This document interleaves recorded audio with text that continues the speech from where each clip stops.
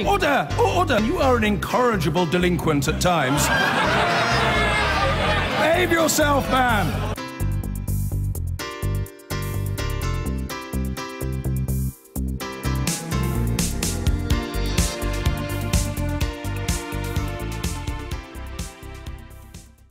Labour has organised huge marches, including yesterday, and Jeremy Corbyn says that Theresa May has lost all legitimacy. But it's harder just now to point to exactly where Labour MPs have made a real difference on policy. Well, the Walthamstow MP, Stella Creasy, certainly has. She won a big change from the government, which allows women from Northern Ireland to get free abortions in England, and she's with me.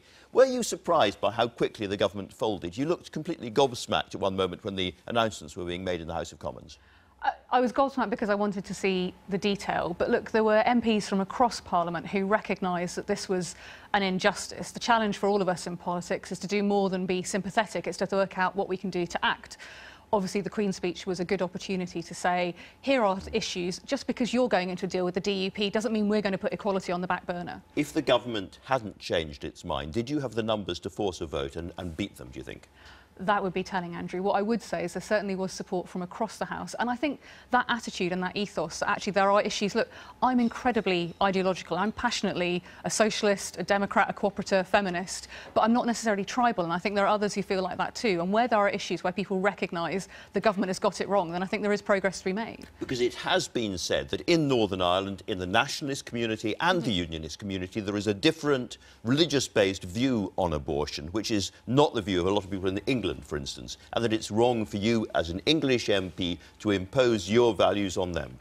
Which would make sense if this was about what was happening in Northern Ireland. This is about what was happening at my local hospital in London and whether women who were coming to England and Wales, who were UK taxpayers, were being denied access to services that they were paying for. Look, I'm passionate that a woman's right to choose is a human right, and I'll be working with my colleagues in Northern Ireland to make the case there. But this was something different, and I think people across the House recognise that if vulnerable women were turning up at their local hospitals in England and Wales asking for help, they shouldn't be turned away. And so is the next front in this battle to change the law in Northern Ireland as well? I think human rights are a massively important issue for all of us. Equality can't be on the back burner in this new parliament, and it behoves all of us to work in many different countries around the world to help support that, and that includes in Northern Ireland. And is this just one example of what we're going to see quite a lot of now, which is specific issues suddenly appear in the House of Commons, and the government realises it hasn't got a majority and has to change direction? Well, I hope so, because colleagues of mine are doing amazing work on all sorts of issues, whether it's Jim Fitzpatrick and Peter Bottomley on leasehold reform, uh, even the work that Paula Sherriff has been doing on women's rights and the tampon tax. Actually, there's a very strong history and tradition of MPs coming up with issues and working across the House to get things done. And I think that's what the public want to see. You voted with the Chuka Umunna amendment yeah. on the EU, which said that Britain should stay inside the single market. That's completely impossible given the result of the referendum. People voted to leave the EU. Leaving the EU means leaving the single market.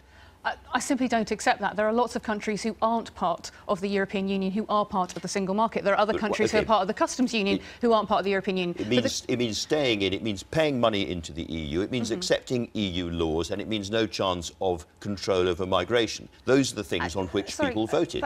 Andrew, with Surely. the greatest will, how do we know that? What a lot of us are saying is we want, in these negotiations, all options to be on the table. To have a government that has forced through a hard Brexit, especially in the light of the general election result, where the public very clearly rejected Theresa May's approach, doesn't make sense to us. And across the House, again, there are MPs saying we want to see all options. We don't know you, you what is possible to achieve, but what we do know is if you walk in the room and you throw away something like single market membership, which you know, 650,000 okay. jobs in London London alone are part of being part of that. It's, it's irresponsible. You had 100 MPs, more or less, went through the lobby on this, out of 600. Britain's membership of the single market is now over. You've won that, you've, you fought that battle and you've comprehensively lost it. It's over, isn't it? I think there is support across the House for saying what options should be on the table very evidently, the British public said no to Theresa May's hard Brexit. But what all of us want is the best deal for Britain. None of us want to rerun the referendum. But what we are saying is, why would you leave some of the big things off the table when you're talking to our European okay. counterparts? But there's a big change of tone in the mm. Labour Party since the election. Jeremy Corbyn has been a long-term hmm. opponent of the EU in many ways. He made his view of the single market very, very clear. Was he right, do you think, to sack people who voted against him this time? Look, that's absolutely his right as the leader of the party, and I'm a former chief whip on a hung council. I have a strong respect for the importance of whipping.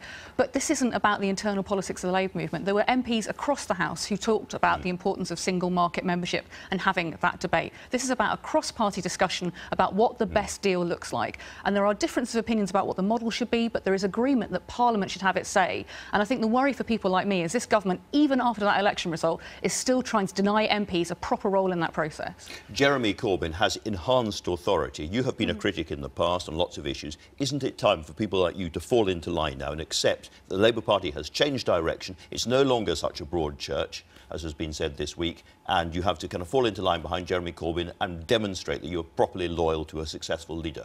Joe, because we won such a great result in the election, we won 30 seats, we've got the opportunity now, not just to hold this government to account, but to show the difference that Labour can make when it's in office. And I hope this week we've started to show how that would work. I think we've got to continue doing that. And now, as part of that, I know Jeremy is committed to every MP playing their part, being able to be out there, right. campaign from the ground upwards. I didn't feel I quite got an answer there, but Stella Creasy, thank you very much indeed for joining us this morning.